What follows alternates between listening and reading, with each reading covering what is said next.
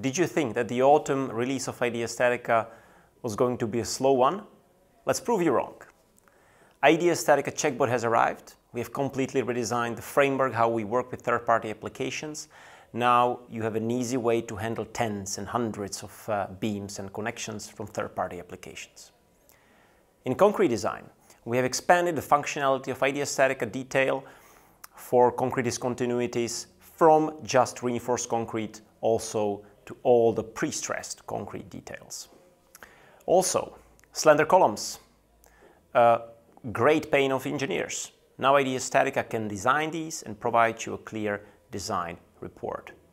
In steel connection design, lots of code improvements and a new feature called Connection Browser, which allows you to leverage a database of predefined uh, steel connection design solutions, which you can quickly apply share, and super speed your steel connection designs. Check the new version out